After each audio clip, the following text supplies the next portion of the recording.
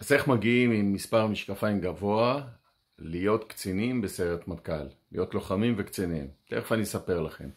אבל למה הסרטון הזה? כי אני יודע שהיום המון מכם עסוקים בימי סיירות ואיך אני אגיע מוכן ויעבור.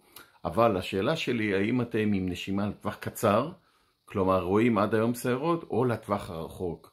מי שמכם באמת טעון בערכים, אכפת לו, רוצה לתרום למדינה, רוצה לעשות שירות צבאי משמעותי, אולי גם מעבר לשירות צבאי רגיל, אלא גם שירות בקבע, תזכרו, אתם צריכים נשימה ארוכה. כלומר, אם אתם באים בגישה, אני חייב לעבור יום סערות וזהו, לא עשיתם כלום. חבר'ה, אחרי יום סערות לא נשארתם עם כלום.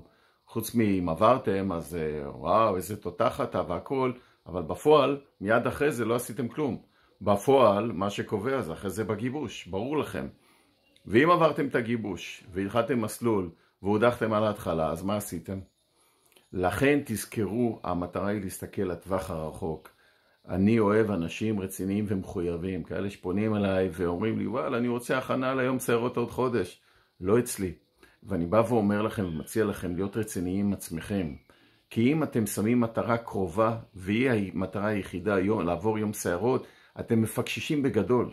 אני אדבר על זה גם מחר בהרצאה בשבע בערב, יותר נכון שיחה איתכם. מי שעוד לא נרשם מוזמן להיכנס פה בקישור.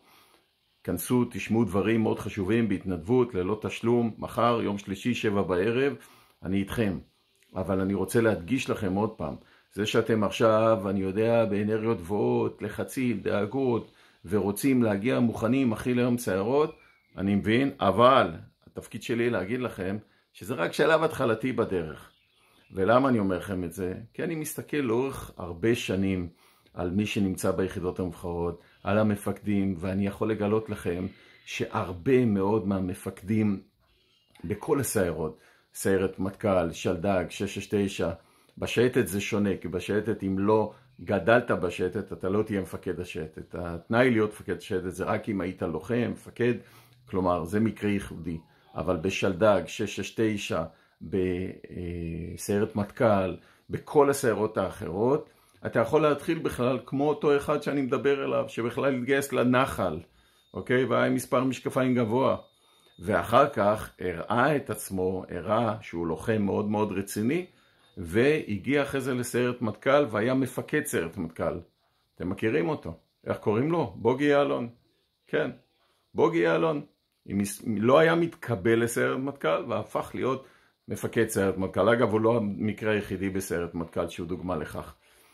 השורה התחתונה, תמיד מחפשים בצבא ובכל מסגרת אנשים שאפשר לסמוך עליהם, אנשים רציניים, לא ספרינטרים לטווח קצר שמחכים, מחפשים הצטיינות חד פעמית. זה לא הסיפור, מחפשים מצוינים. ומה זה מצוינים? זה כאלה שזה דרך חיים. שכל דבר שהם עושים, עושים בדרך הטובה ביותר ולאורך זמן. לא איזה הצטיינות חד פעמית. מי אתם? האם אתה מצטיין או אה, מאופיין במצוינות? מצטיין חד פעמי או מצוין בדרך שלו. אגב, מצוין בדרך שלו לפעמים נכשל, גם נופל, אבל הוא קם על הרגליים, אוסף אוויר כי יש לו מטרה רחוקה, כמחויב לדרך רצינית. בכל יחידה מובחרת, בכל ארגון רציני, לא מחפשים את אלה שיבואו לעשות ביום הראשון, בשעה הראשונה, עבודה מדהימה. רוצים לראות אתכם לאורך זמן, לאורך חודשים, לאורך שנים. זה האתגר האמיתי, חבר'ה, זה האתגר האמיתי. אז יום סערות, אני מבין, חשוב, תקבלו ממני כלים, אבל אני בא ואומר עוד פעם, רק רצינות. מי שבא רק לחודש, לא אליי, כי מבחינתי הוא לא רציני. מי שרציני זה אחד ששם לעצמו למטרה להיות לוחם, להיות לוחמת אגב, לשים מטרה ולהגשים אותה, מטרה גבוהה ורחוקה, ולא לחודש הקרוב, אלא לטווח הרחוק. תשאלו את עצמכם את השאלות האלה. זה בסדר גמור אם אתם לא רוצים להיות uh, לוחמים ביחידות עילית, אתם לא חייבים, יש הרבה אפשרויות אחרות, אבל אם אתם רוצים להיות לוחמים ברמה הגבוהה ביותר, זו דרך חיים. זו דרך של מצוינות לאורך זמן, התמדה והשקעה ולא איזה משהו חד פעמי. מוזמנים לשתף חברים, לעשות אה, לייק על הערוץ, subscribe מי שעדיין לא עשה ומחר שבע בערב אתם מוזמנים להיכנס פה לחיבור, לקישור בוואטסאפ, להשאיר שם מלא ומאיפה אתם בארץ ואנחנו ניפגש מחר. ביי, להתראות.